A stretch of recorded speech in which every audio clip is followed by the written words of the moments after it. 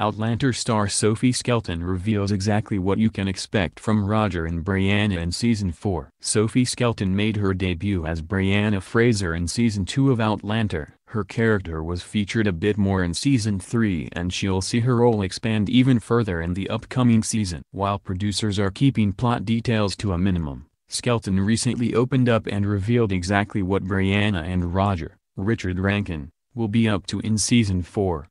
Season 4 of Outlander is based on the fourth book in Diana Gabaldon's hit series, Drums of Autumn. In the books, spoiler alert, Claire, Caitriona Balfe, left Brianna in 1970s to reconnect with Jamie, Sam Heughan, in the 18th century. With both of her parents out of the picture, Brianna struggled to start her life anew and come to terms with the truth about her father. To help cope with everything, Brianna decided to travel back in time like her mom and reunite with her biological dad. According to Fansided, Season 4 will follow Brianna's story arc from the book, including her highly anticipated reunion with Jamie. In fact, Skelton confirmed that Brianna and Jamie meet in the upcoming season, which will definitely be one of the highlights of the year. We also know that Brianna will meet up with Laoghaire, Nell Hudson, this season. Hudson and Skelton were spotted filming scenes together in Scotland, so it's clear that Brianna will spend some time at Lallybroch. While it will be good to see Jamie and Brianna reunite after all these years,